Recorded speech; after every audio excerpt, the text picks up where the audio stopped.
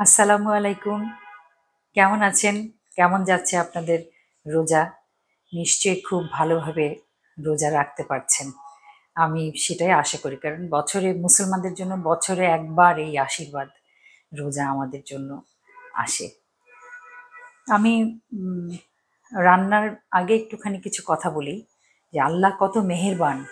চিন্তা করেন একবার যে রোজার উপকারিতা, রোজার ধর্মীয় যে উপকারিতা, সেটা তো আমরা সবাই জানি যে আল্লাহ নিজ হাতে রোজার যে উপহার তার বান্দাকে দেন। কিন্তু যেটা মানে বৈজ্ঞানিকরা যেটা বের করেছেন, সেটা তাও প্রায় অনেক বছর হয়ে গেল। জাপানি একজন স্বাস্থ্যবিদ অথবা ডাক্তার বা যাই হোক, উনি গবেষণা করে বের করেছেন যে রোজ, রোজা আসলে ও জাপানি ভাষায় বলে অটোফেজি অটোফেজি মানে নিজেকে নিজে খাওয়া। এটা আমরা যখন ভোর ভোর রাত থেকে একদম সন্ধ্যা পর্যন্ত না খেয়ে থাকি, তখন কি আমরা না খেয়ে থাকি, কিন্তু আমাদের দেহ তার সেটা বোঝে না। তখন সবল কোষ, আমাদের শরীরের মধ্যে নানান রকম কোষ থাকে। কোনোটা খুব সবল, কোনোটা একটু মধ্যম সবল, কোনোটা একদম দুর্বল। তো সব, এটা আমরা সাধারণ জ্ঞানেই বুঝতে পারি যে দুর্বল কোষ মানে হলো অসুস্থ কোষ।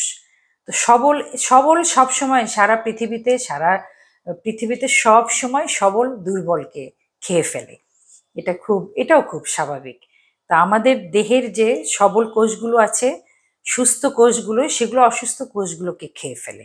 যখন আমরা অনাহারে থাকি, যখন আমরা অনাহারে থাকি অনেকক্ষণ না খেয়ে থাকি, একদম পানিও খাই না তখন আমাদের ওই কোষগুলো, একটা কোষ আর একটা কোষে। তার মানে কি দাঁড়াল? দেখেন আমার গায়ে কাটা দাঁড়িয়ে যাচ্ছে। তার মানে দাঁড়াল যে রোজা রাখলে আমাদের ভিতর যে কিছু অসুখ বিসুখ সবারই কিছু না কিছু, যত ভেজাল খাই আমরা এখন তারপরে নিয়ম মত- চলি না, নিয়ম মতো ঘুমাই না, তো সেখানে আমাদের দুর্বল কোষগুলোকে, সুস্থ সবল কোষগুলো, দুর্বল কোষগুলোকে খেয়ে ফেলে। তো রোজাতে এটা এটা এই থিওরি থেকেই আসলে অটোফেজি নামটা এসেছে। অটোফেজি মানে আবারও বলি, নিজেকে নিজে খেয়ে ফেলা। তো ওরা নিজেরাই নিজেকে খেয়ে ফেলে, তাহলে বাকি থাকল সব সবল কোষ। তার মানে রোজা এক মাস রোজা রাখলে আমাদের যে মানে ওভাররোলিং যেটা, নিজেকে নিজে সুস্থ করে ফেলা, সেই সারা বছরে একবার একটা সুযোগ পেয়ে যাই বছরে তো একবার আসলে নিজের শরীরকে যেরকম এক্সিকিউটিভ চেক আপ করে, সেরকম একটা চেক আপের মতো একটা হয়ে যায় অটোমেটিক হয়ে যায়। তো দেখেন, চিন্তা করেন যে স্বাস্থ্যগত দিক থেকেও আমাদের রোজা কতটা উপকারী। যাই হোক, অনেক, অনেকক্ষণ অনেক লম্বা কথা বললাম। আমি একটুখানি এটা চিকেন, এটা ব্রয়লার চিকেন, এটা দিয়ে একটা কাবাব বানাবো। এখানে যা যা আছে দেখিয়ে দিচ্ছি। একটুখানি ওয়েস্টার সস এবং সয়া সস একসাথে করে রেখেছি। এই অল্প একটু তো এখানে যতটুকু লাগবে সেই পরিমাণে এখানে আমার ঘরে কর্নফ্লাওয়ার নাই, এটা একদম আটা।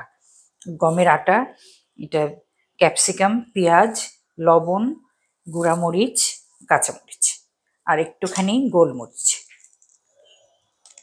আমি আজকে অনেক দিন পর এক চান্সে গোলমরিচকে গোলমরিচ বলি নাই।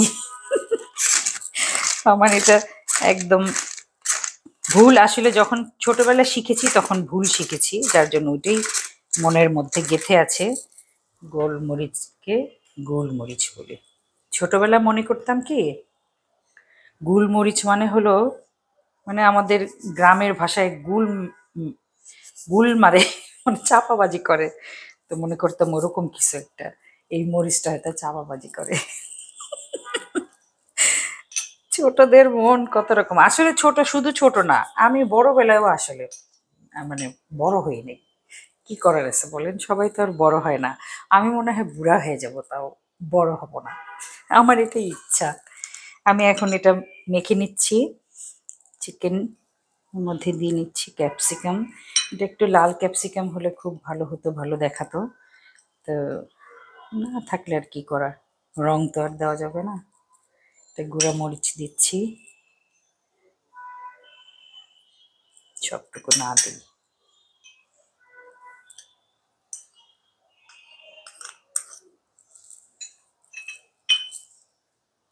কাঁচা মরিচটা যথারীতি পরে দিব। এখন আমি এটা মেখে নিচ্ছি। এইভাবে মাখতে গেলে এখন যদি আমি মনে করি যে আমার আটাটা কম হয়ে গেছে আঠা আঠা হচ্ছে না, সেক্ষেত্রে আমি আর একটুখানি নিয়ে নেব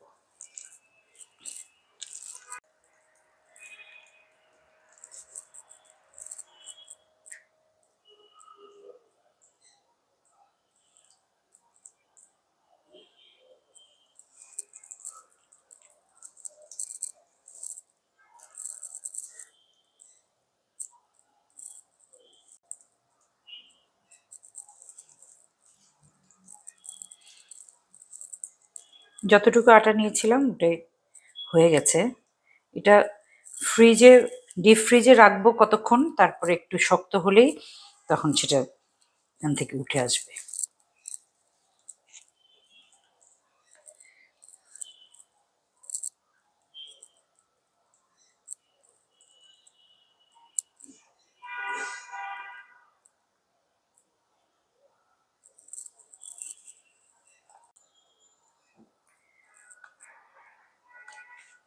এটা এভাবেই বানিয়ে রেখে দিলে একদম অনেক দিন রেখে খাওয়া যাবে। অবশ্যই ফুড গ্রেডের বাটিতে বক্সে ভরে রাখতে হবে। আর এটা ইচ্ছা করলে, আমার মনে হয় এরকম আরেকটু চ্যাপটা করে বানালে ইয়ে বার্গারের প্যাটি হতে পারে।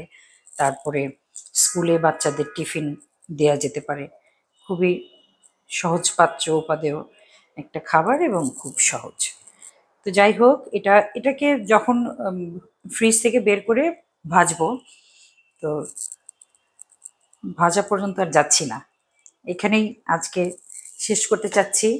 সেই ফাঁকে আবার বলি যে, নিয়ম করে রোজা রাখবেন এবং রোজায় রোজায় না আসলে, রোজায় অভ্যাসটা খুব দাঁড় করানো উচিত। রোজায় সারা মাস একটা কাজের অভ্যাস করলে সেটা পরেও থেকে যায়। সেই ক্ষেত্রে আমরা অবশ্যই মিথ্যা বলব না গিবত গাইবো না। এবং সংযম যেটা, যেটাকে বলে সত্যিকারের সংযম, সেটা করার চেষ্টা করব। সেটা সেটা খুবই, একটা মানুষের যদি সংযম না থাকে কোথায় সংযম পালন করতে হবে সেটা একটা মানুষকে শেখা খুব জরুরি। তো আমি ছোটবেলা অনেক ছোটবেলা বুদ্ধি বয়স থেকে আমরা পারিবারিকভাবে আমরা রোজা রেখে অভ্যস্ত, কখনো পুকুরের নিচে ডুব দিয়ে পানি খাই নাই। এবং রোজা রাখলে মা বারবার বলতেন যে, মিথ্যা কথা কিন্তু বলা যাবে না। তো তখন আমি আমি চিন্তা করতাম যে, এই একটা মাস যদি মিথ্যা কথা না বলে থাকা যায়, মিথ্যা কথা না বলে দিন পার করা যায়, তাহলে বাকি এগারো মাস কেন থাকতে পারব না? তাই না? তো সেখানে আসলে এটা এটা খুব খুব ছোট্ট একটা ব্যাপার। অনেক সময় মনে হয় যে একটুখানি বলি, একটু চাপাবাজি করি আর কি। এরকম না ব্যাপারটা। মিথ্যা হলো সব পাপের মা। তো সেখানে আমরা মিথ্যা না বলি। কি হয়? মিথ্যা না বললে জীবন অনেক সহজ হয়ে যায়। একজন মিথ্যাবাদীর জন্য জীবন খুবই যন্ত্রণাদায়ক। তো যাই হোক, আমাদের সবার জীবন একদম ফুলের মতো সুন্দর, পবিত্র এবং সুগন্ধময় হয়ে উঠুক। সেই কামনা করি। আল্লাহ আপনাদের সবাইকে ভালো রাখুক। আমার জন্য এবং আমার পরিবারের জন্য দোয়া করবেন। আসসালামু আলাইকুম।